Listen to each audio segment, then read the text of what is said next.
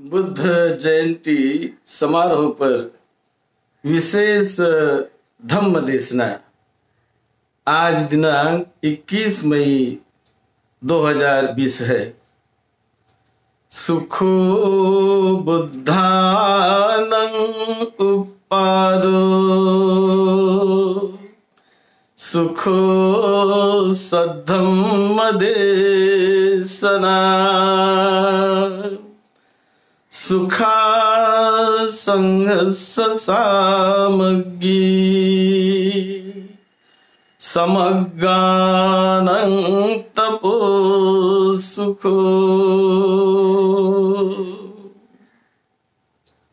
हम जिस बुद्ध को मानते हैं, वो बुद्ध कौन थे? कैसे थे? क्या है? उसने क्या सिखाया, क्या बताया? इसे जानकर, समझकर, उन्हें मानना, उन्हें फॉलो करना, ये बड़ा कल्याण का होता है। बुद्ध का मतलब है ज्ञान। बुद्ध का मतलब है विज्ञान, ज्ञान। ज्ञान से ही विज्ञान से ही ज्ञान से ही बुद्ध बुद्ध बनते हैं। बुद्ध यह नाम माता पिता ने दिया हुआ नाम नहीं है। माता पिता ने दिया हुआ नाम था सिद्धार्थ गौतम। और जब बुद्ध बने तो अनंत असीम ज्ञान के प्राप्ति से बुद्ध बने। तो क्या होता है बुद्ध का ज्ञान? उसे हम आज थोड़ा विशेष रूप से समझने का प्रयास करेंगे। हम अंध भक्त होकर बुद्ध को ना माने। अंधविश्वासी नहीं, बल्कि विश्वास के साथ कॉन्फिडेंट के साथ, ज्ञान के साथ हमें उन्हें मानना है, जानना है। इसीलिए बुद्ध ने क्या आदर्श दिया? कौन से आदर्शों के साथ हम पर हमें चलना है? बुद्ध क्या थे? ये सारी बातें हमें एक बुद्ध परंपरा की दृष्टि से जानना है।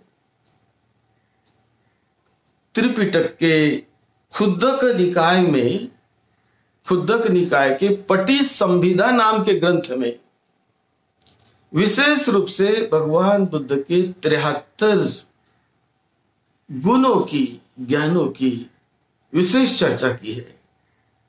मैं जब श्रीलंका में था, मेरे ट्रेनिंग के रहता था तो मैंने देखा वहाँ पर ये तिहत्तर बुद्ध के ज्ञान की पूजा, तिहत्तर ज्ञान की पूजा, वो बड़ा, बहुत बड़ा उत्सव मनाकर, बहुत बड़ा आयोजन करके वो करते थे वहाँ पर। जब मैं कोलंबो में था, वहाँ पर मैं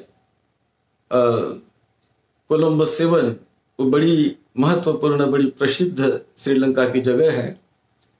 वहाँ के विपश्यना केंद्र में मैं रहता था।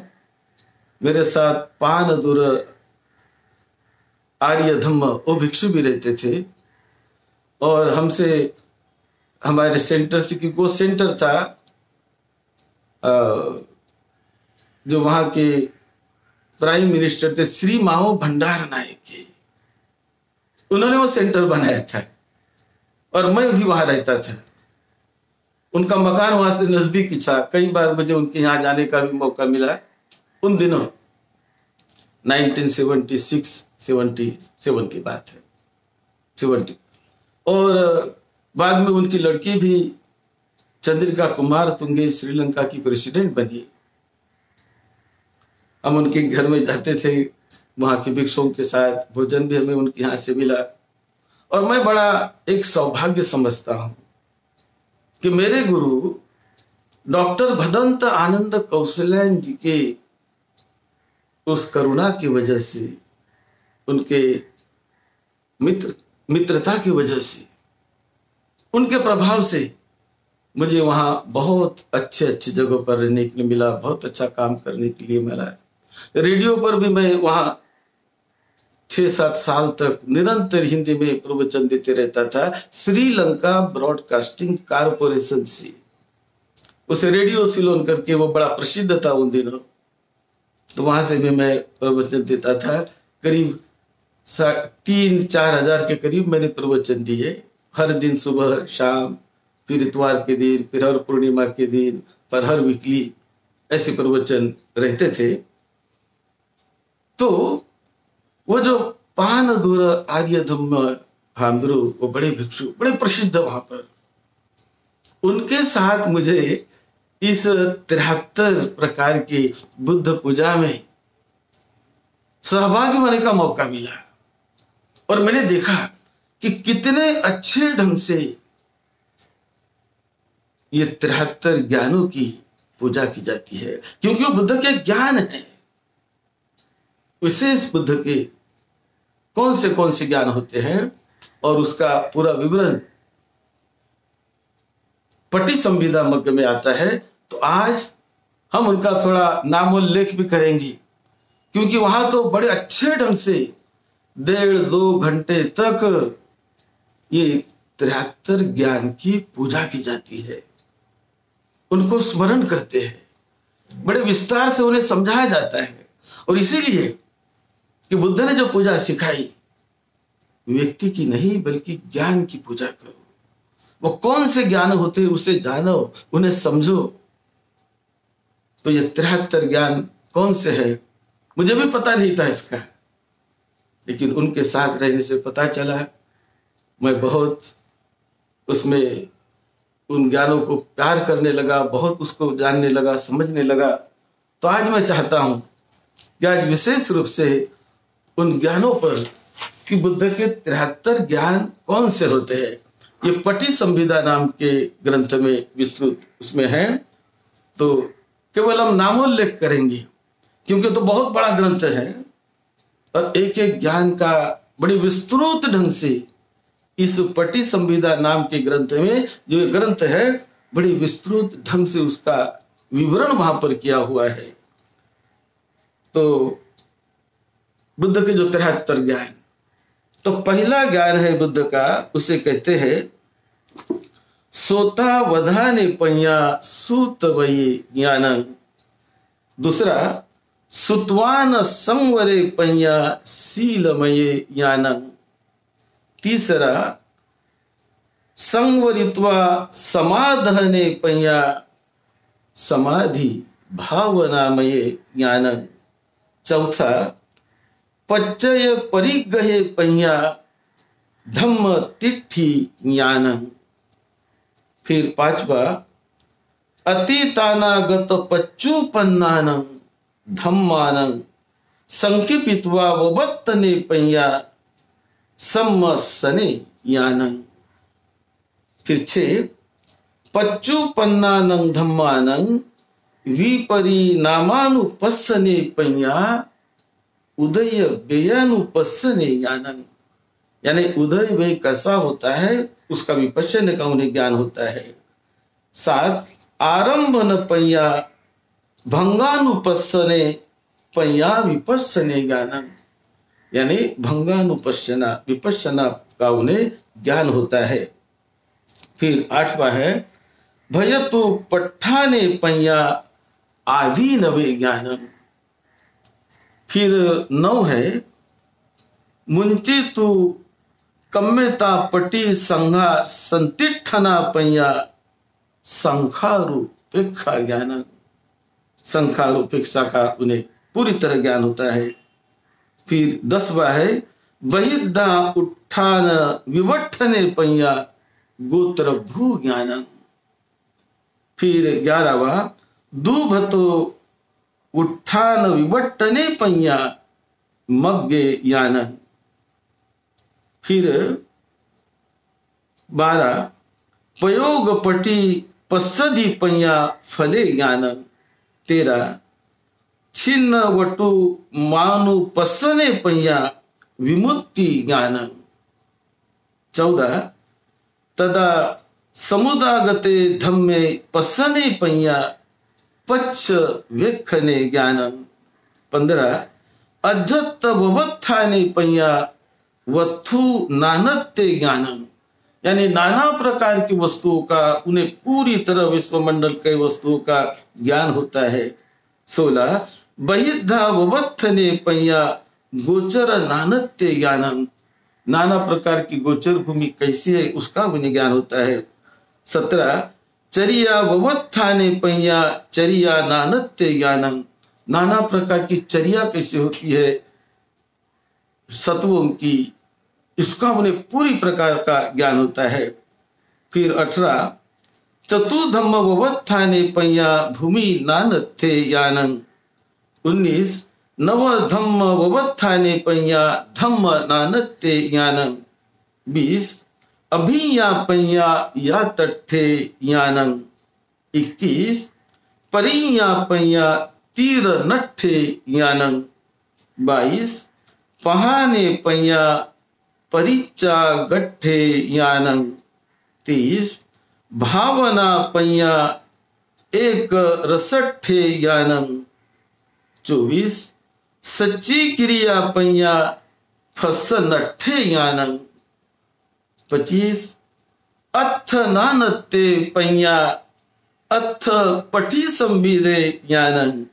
छब्बीस धम्म नानते पैया धम्म पटी संविदे ज्ञानम। सत्ताईस निरुक्ति नानते पैया निरुक्ति पटी संविदे ज्ञानम। फिर अट्ठाईस पटिभा नानते पैया पटिभा। नानते पैया पटिभान पटी संविदे ज्ञानम फिर उन्तीस, विहार। नानत्य पैया विहार ठे ज्ञानम तीस, समापत्ति नानत्य पैया समापत्ठे ज्ञानम फिर इकतीस विहार समापत्ति नानत्य पैया विहार समापत्ठने ज्ञानम फिर बत्तीस। विवेक विवेक परिशुद्धता, आसव समुच्छेदे पैया आनंतरिक समाधि ही ज्ञानम फिर तैतीस है। दर्शनाधिपत्य संतोष विहाराधि मग्गो। पनिताधि मुत्तता पैया अरन विहारे ज्ञानम फिर चौतीस, द्विहि बले ही समन्नागता तयोच संखारानं पटी पस्सधिया षोडश ही यानचर्या ही नव ही समाधिचर्या ही वसी भावता पैया निरोध समापत्तिया ज्ञान सोलह प्रकार की ज्ञानचर्या, नौ प्रकार की समाधिचर्या आदि का विशेष ज्ञान विशेष ज्ञान। संपजानस पवत्त परियादाने पैया परिनिब्बाने ज्ञानम। परिनिब्बान का उन्हें ज्ञान होता है छब्बीस छत्तीस। सब धम्मान सम्मा समुच्छेदे निरोधे च अनुपठानता पैया समसिसठे ज्ञानम। फिर सदतीस, पुथु नानक ते जपरिया दाने पैया सल्ले कट्ठे यानंग। फिर अड़तीस असलीन त पहित पगहट्टे पैया वीरिया रंभे यानंग। उनतालीस, नाना धम्म पकासनता पैया अथ संदसने यानम चालीस सब धम्मानं एक संगहता नानत केत पटी वेधे पैया दसन विशुद्धिया यानंग इकतालीस विधि तथा पैया खंती यानंग बयालीस फुट तथा पैया परियोगाहने ज्ञानंग फिर त्रियालीस, सम्मोदहने पैया पदेश विहारी ज्ञानंग चौवालीस अधिपतता पैया संज्ञा विभट्टी ज्ञानंग पैतालीस नानत्य पैया चेतो विभट्टी ज्ञानंग छियालीस अधिष्ठाने पैया चित्त विवठे यानंग सैतालीस शून्यते पैया यान विभट्ठे यानंग फिर अड़तालीस। ओसज्ञ पैया विमुख विभट्ठे यानंग उनचास। तठते पैया सच विभट्ठे यानंग पचास। कायम पी चित्तम पी एक नथा सुखं सच लहु संयंच अधिष्ठान वसेन इज्जनठे पैया इधि विधे ज्ञानम। सारे प्रकार की रिद्धि सिद्धि का, रिद्धियों का मूल से लेकर अंत तक उनको ज्ञान होता है। वितक विफार वसेन नानत्य कत्त सद निमित्तानं परियोगाहने पया सोत धातु विशुद्धि ज्ञानं। फिर बावन है तिन्नं चित्तानं विफारता इंद्रियानं पसाद वसेन नानते कत्त वियान चरिया, परियोगाहने पया, चेतो परियानम यानी किसी भी सत्व के चित्त को वो जानते थे, समझते थे, ये भी उनको ज्ञान था कि विश्व मंडल के किसी भी सत्व उनके सामने वो छुपे नहीं रह सकते थे, वो जानते थे। तिरपन, पच्चय पवत्तानं धम्मानं नानते कत्त कम विफार वसेन, परियोगाने पया पुबे निवासानुसती आनंद। सारे जीव सत्वों का पूर्व निवास के बारे में उनको ज्ञान होता है, ज्ञान था। चौवन, ओभास वसेन नानत्य कत्त रूप निमित्तानंद दस नठे पैया दिव्य चक्षु ज्ञानंद।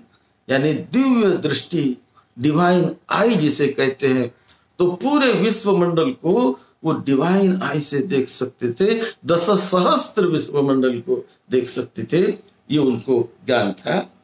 पंचा, पचपन चतुष्टिया आकारे ही तीन नंग इंद्रियानंग वसी भावता पैया आसवानंग खये ज्ञानम आसरों का क्षय किस प्रकार से होता है? कौन से जीव सत्व में कैसे होता है? इसका भी उसे ज्ञान था फिर छप्पन परियठे पैया दुखे ज्ञानम सत्तावन पहानठे पैया समुदय यान। फिर अट्ठावन, सच्ची क्रियठे पैया निरोध यान। उनसठ, भावन अठे पैया मग्य यानंग साठ, दुखे यानंग इकसठ दुख समुदय यानंग बासठ दुख, निरोधे यानम त्रेसठ दुख, निरोध गामिनिया पटी पदाय ज्ञानम चौसठ अथ पटी संविदा मग्गे ज्ञानम पैसठ धम्म पटी संविदे ज्ञानम छसठ निरुक्ति पटी संविदे ज्ञानम। सिक्सटी सेवन पटी भान पटी संविदे ज्ञानम। अड़सठ, इंद्रिय परोपरियते ज्ञानम। यानी इंद्रियों के कई प्रकार के ज्ञान, श्रद्धा इंद्रिय वीर इंद्रिय सती इंद्रिय प्रज्ञा इंद्रिय आदि किस प्रकार से हम अपने मनो इंद्रियों को भी डेवलप कर सकते हैं उसका उन्हें हर प्रकार से उन, उनको ज्ञान था। इसलिए इंद्रिय परि परियते ज्ञान कहते हैं। उनसत्तर सत्तानंग आशयानुसय ज्ञान यानी सत्वों का अनुसय कैसा होता है, उसका उदय कैसा होता है, वही कैसा होता है, और उसमें किस प्रकार से आश्रव संग्रहित होते हैं, इसका भी उन्हें पूरी तरह से ज्ञान था। फिर सत्तर, येमक पाटी हिरे ज्ञानम येमक पाटी हिरे, यानी बहुत ऊँची प्रकार का ये ज्ञान होता है, ये केवल बुद्ध में ही ये ज्ञान होता है एमक पाटी हिरे। तो ये ज्ञान का प्रयोग एक बार बुद्ध ने दो तीन बार किया और उसके बाद इकहत्तरवा है, महाकरुणा समापत्ति या यानी अनंत करुणा उनके हृदय में होती है, संपूर्ण मानव जाति के प्रति, संपूर्ण प्राणी के प्रति, संपूर्ण विश्व के प्रति अनंत अनंत करुणा। इसलिए उसे कहते हैं महाकरुणा समापत्ति या यानन, ये उनके हृदय में होता है। और बहत्तर है सब सबयुत ज्ञानम। यानी सब कुछ दुनिया के हर चीज़ को, इस विश्व मंडल के हर चीज़ को वो जानते हैं। एक भी चीज़ उनके लिए अनजान नहीं होती। इसीलिए उसे कहते हैं सब युत ज्ञान और तिहत्तर सेवेंटी थ्री अनावरण ज्ञान तो इस प्रकार इमानी ते सत्तति यानानी। इमेसं ते सत्ततिया यानानं सत्तसठी यानानी। सावक साधारणानी। छ यानानी असाधारणानी सावकी। यानी इनमें से सदसठ प्रकार के जो ज्ञान होते हैं, सिक्सटी सेवन। तो वो अर्हत सारी पुत्र मुदगल्लायन अनिरुद्ध आदि जो उनके श्रावक थे, शिष्य थे, उनको भी सिक्सटी सेवन प्रकार के ज्ञान तक वो पहुँच सकते हैं। लेकिन बुद्ध के छह ज्ञान, वो असाधारणानी वो केवल बुद्ध में ही होते हैं, दूसरे व्यक्ति में वो ज्ञान नहीं होते ये तो सब होता ज्ञान कहते हैं, जिसे ये मक पार्टी हार ज्ञान जिसे कहते हैं। तो यह ज्ञान बुद्ध के सिवा और दूसरों में नहीं होता है। ये मक पार्टी हारी ज्ञान का एक बार कैसा बुद्ध ने प्रयोग किया है? तो बहुत लंबे समय के बाद बुद्ध कुशीनगर जाते हैं। उनके पिताजी ने बुलावा भेजा था। कई बार उन्होंने निमंत्रण भेजे, लेकिन वो नहीं जा पाए। लेकिन बाद में एक बार उन्होंने मन बना लिया और सात वर्ष के बाद, आठवें वर्ष में वो जाते हैं कुशीनगर। और वहाँ जाते समय कुशीनगर के जो लोग थे, कि बुद्ध आ रहे हैं तो बहुत बड़ा बुद्ध का स्वागत, सत्कार हम करेंगे, ऐसा सोचकर समझकर वो लोग इकट्ठे हुए अपनी सीमा पर शहर के और इकट्ठे होकर अब उनमें जो कुछ बुज़ुर्ग लोग थे। अब जो नौजवान थे, वो लोग बड़े उत्साहित थे कि हम देखे भाई, बुद्ध के बारे में सुना तो है हमने, हम देखे तो देखे तो। और जो बुज़ुर्ग थे, वो भी चाहते थे कि हम देखें, समझे। लेकिन इशाक के वंश होने के कारण वो बुज़ुर्ग लोग जो उम्र में बड़े थे, जिन्होंने सिद्धार्थ गौतम को खेलते हुए देखा, बचपन में उन्हें देखा, पढ़ते हुए देखा। तो वो छोटा था उम्र में बहुत सारे लोग उनसे, और उनसे उम्र में कई अधिक उम्र में शाक्यों में बहुत लोग थे। तब उनके मन में शाक्यों के मन में ऐसा आ गया कि वो तो घर से चले गए हैं, वो जब आएँगे ना तो उन्होंने पहले हमें वंदन करना चाहिए। हम बुज़ुर्ग लोग हैं हम। हम उनसे उम्र में बहुत बड़े हैं। तो हमारी जो प्रथा है कि जो उम्र में बड़ा होता है, उनको तो वंदन किया जाता है। ये हमारे शाक्यों की प्रथा है। तो इसलिए जब वो आएँगे तो हम अपने जगह पर खड़े रहेंगे। हम उन्हें वंदन नहीं करेंगे। वो हमें आकर वंदन करें। क्योंकि हम उम्र से बड़े होने के कारण। और जो छोटे हैं, वो जाकर उन्हें वंदन करेंगे। तो ऐसा भाव उन लोगों ने मन में बना लिया। और सब खड़े रहे। तो बुद्ध ने उनके मन के भाव को जान लिया कि अरे ये शाक्य जो है ना, इन्हें बड़ा गर्व होता है अपनी जाति पर, अपने वंश पर। और ये नहीं जानते कि बुद्ध कौन होते हैं, क्या होते हैं, इनको नहीं पता बुद्ध के बारे में। तो उस समय बुद्ध ने उनके उस गर्व को मिटाने के लिए भी और बुद्ध क्या होते हैं यह समझाने के लिए भी उन्होंने एकदम आकाश में वो बैठ गए पालथी मारकर। सब ऊपर देखने लगे, अरे, ये कैसे आकाश में बैठा? और उसके बाद फिर वो वहाँ हवा में जैसे पंछी उड़ते हैं, उसी प्रकार हवा में वो तैरने लगे, उड़ने लगे। और उड़ते उड़ते एक शरीर के एक अंग से अग्नि बरसा रहे हैं। दूसरे अंग से पानी बरसा रहे हैं। अग्नि भी आ रही, पानी भी निकल रहा। तो सारे ये सब देखकर और कई प्रकार के प्रयोग वहाँ पर उन्होंने जो दिखाने का प्रयास किया तो सारे लोग एकदम आश्चर्यचकित हो गए। कहने लगे कि ये कोई सामान्य व्यक्ति नहीं है। बहुत बलशाली है, बहुत शक्ति इनमें है। और ऐसे होकर फिर और नीचे आ गए। और नीचे आकर फिर सभी लोगों ने उसका, उस शक्ति को पहचाना, जाना कि नहीं, ये कोई मानव की शक्ति नहीं है, अद्भुत शक्ति है बुद्ध की। ये कोई अपने आप नहीं मिलती। तो ये बहुत लंबे अरसे से प्रयास करने पर कोई बुद्ध हो जाता है। और इस प्रकार से, क्योंकि सामान्य लोग थे सामान्य लोग तो अपनी भाषा में सोचने का, समझने का प्रयास करेंगे। तो उस समय बुद्ध ने यमक पार्टीहारी ज्ञान का प्रयोग वहाँ पर किया था। और उसके बाद तो वो लोग बहुत बुद्ध को वंदन करने लगे, बुद्ध को माफ़ी मांगने लगे कि हमारी गलती हुई, हमें माफ़ कर दो अब तो बुद्ध है। और ऐसा करके उन्होंने स्वागत सत्कार किया।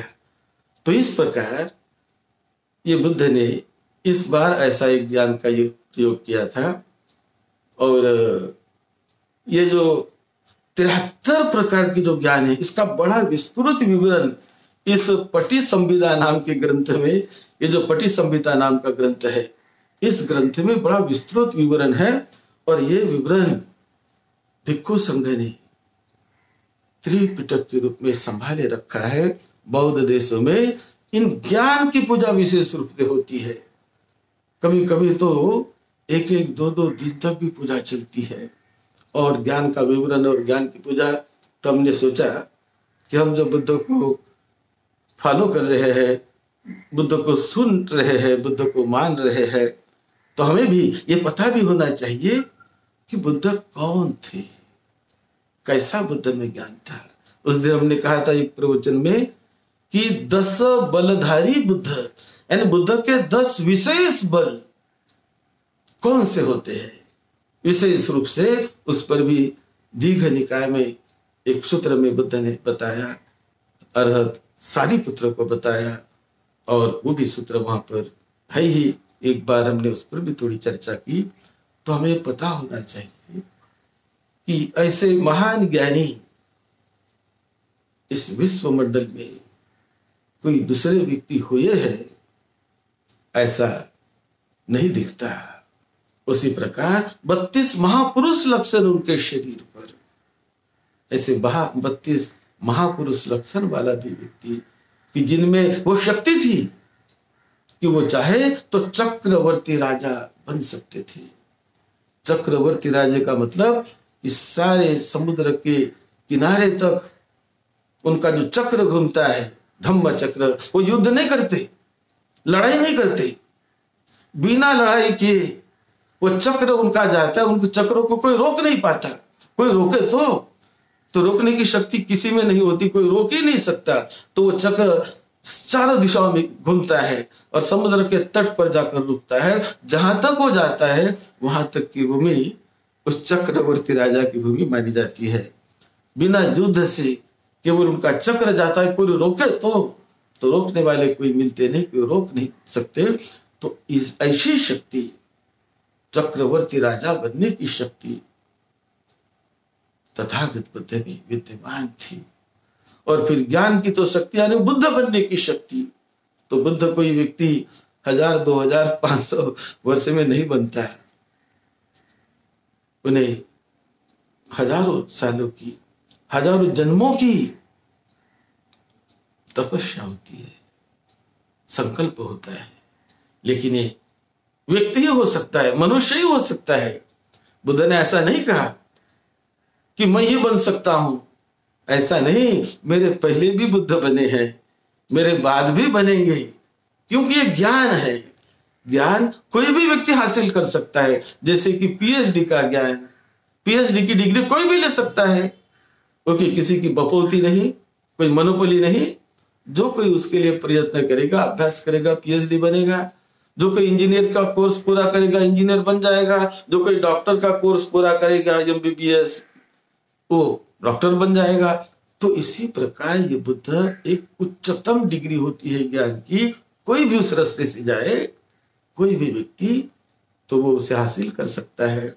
तो बुद्ध के कौन से विशेष ज्ञान होते हैं? इस पर आज केवल उसका हमने नामा नामा लेख किया। केवल हमने नाम पढ़ा, कभी समय आएगा तो आगे और भी किसी पर विस्तृत चर्चा करेंगे। आप सबका मंगल हो, सबको निरोगत्व मिले, सुख शांति मिले। सद्धम्म की सेवा में, आपकी सेवा में, डॉक्टर भदंत राहुल बोधे महाथेरो।